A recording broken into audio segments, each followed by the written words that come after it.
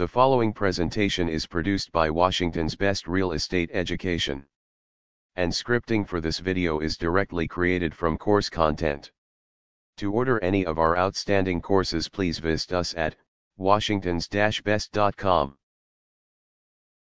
State and federal legislation regulates the generation, flow, and disposal of hazardous and other solid wastes. The United States produces approximately 294 pounds of waste per person per day. This adds up to 13 billion tons of waste each year. Most of this is industrial wastes and many of these wastes are toxic. According to the EPA in 2010, Americans generated about 250 million tons of trash.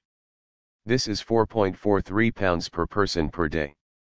These wastes are not negligible because landfill space is declining.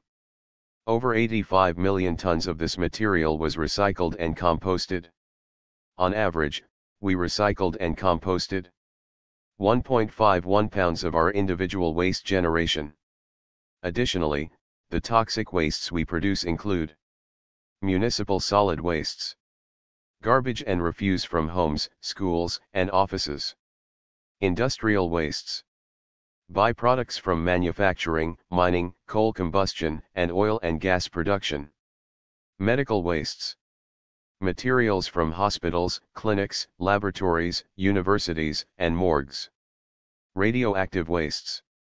From nuclear fuel use, weapons production, medical and agricultural uses of radioactive materials and uranium ore processing, and hazardous wastes.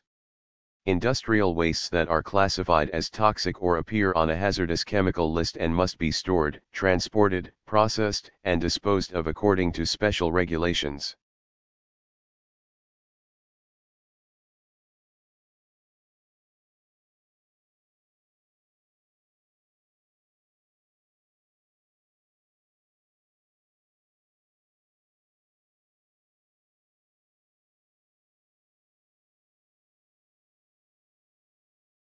Please subscribe to our channel for more informative videos and visit our website for great deals on real estate courses and renewal packages.